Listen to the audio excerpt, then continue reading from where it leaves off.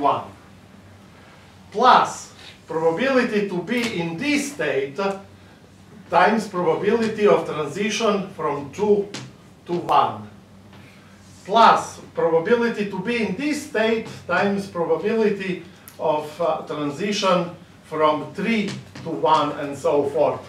So probability to be in the after uh, one step to be in the state it, at any obviously this works for any state. To be in a state uh, um, uh, k probability uh, how do we write this. So this is probability that uh, um, for when t equals to 1 to be in a state, say, sk, will be sum over all states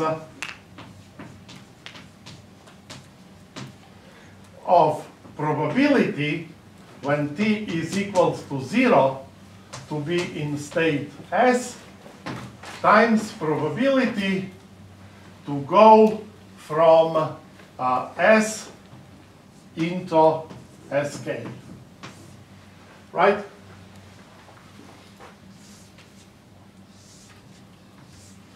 So probability to be in this state is equal probability that you started here times probability of transition plus probability to be here times probability of transition probability to be here times probability of transition, right?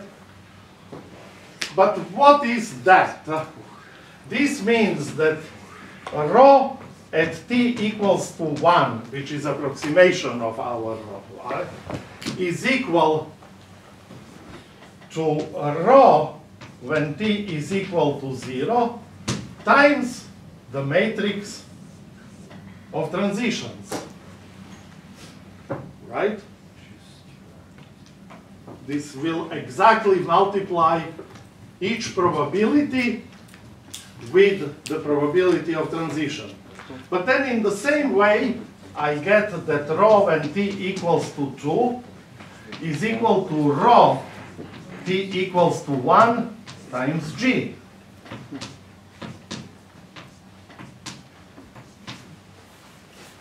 Right? Because the same logic applies. And so forth, uh, rho uh, transpose when t is equal to k plus 1 is simply rho transpose when t equals to k times g. Do you understand this? Right? So you simply let, you see, initially our surfer can choose any page with equal probability. So all of these probabilities will be 1 over n. But these guys will depend very much whether this page has a link to that page or not. But in any case, probability to be at this web page uh, is equal probability to be at that web page times probability of clicking the right link and ending up here, plus probability that you are here times clicking the right link and so forth.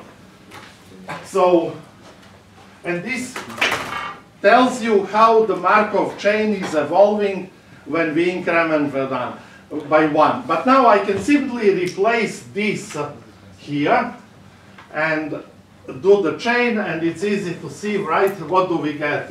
That rho t equals to k plus 1 of t is equal rho t equals to 0 transpose times g on what power it will be power power power uh, k is it k or k plus 1 I start with 0 so it's just k plus 1 is it? Yes. Okay, good. Now, this means, and the Markov theorem tells you that as k grows, these guys will converge.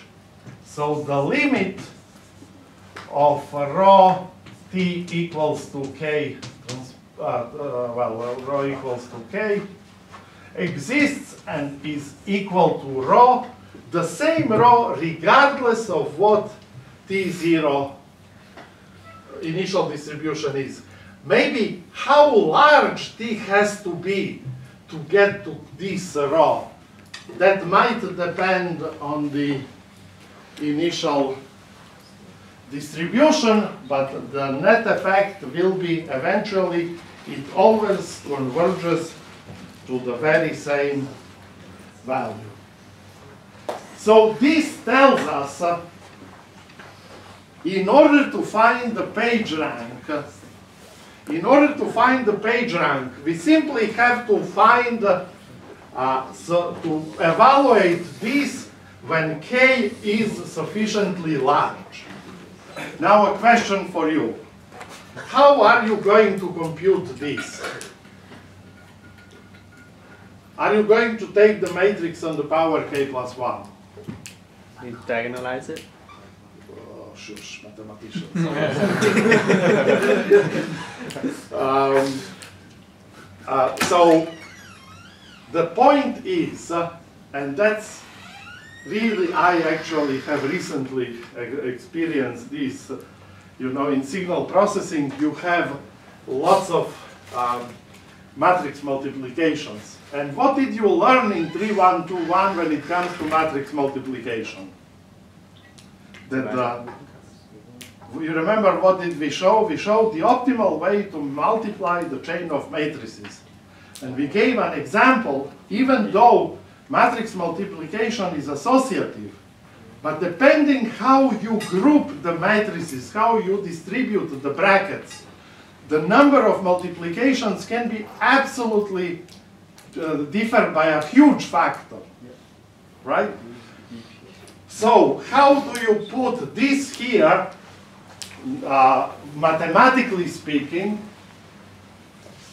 would can be written as, so rho uh, t equals k plus 1 is equal rho times g to the k plus 1, which is equal to rho times g times g, right, n plus 1 times, and that's equal to that. But lo and behold, t equals k. Lo and behold, this is not how you group. How do we compute this? How do you multiply a vector by a power of a matrix? You group it precisely the other way around. This is rho times g times g times g and so forth. You always multiply rho by the matrix, you get a vector. So you never do matrix by matrix multiplication. You always, you will always end up with vectors, right? So you group it this way. And lo and behold, uh, if k, if uh, your alpha is 0.85, uh, it takes about 50 iterations to get a very good approximation of the page rank. Now, this is still extremely expensive if the number of web pages is a trillion, but it's feasible. In fact, initially, we will finish next time, but initially Google used to do it once a week because this is how long the page rank computation took. Nowadays, they probably don't do it this way at all, but they assign web pages to maximize their profit and get uh, Hillary elected instead of Trump. so um, that's the the bottom line. So next time we will see the properties of the page rank and uh, I have to, you look, the material will get denser and denser, right? So please read the notes. Uh, They will do good.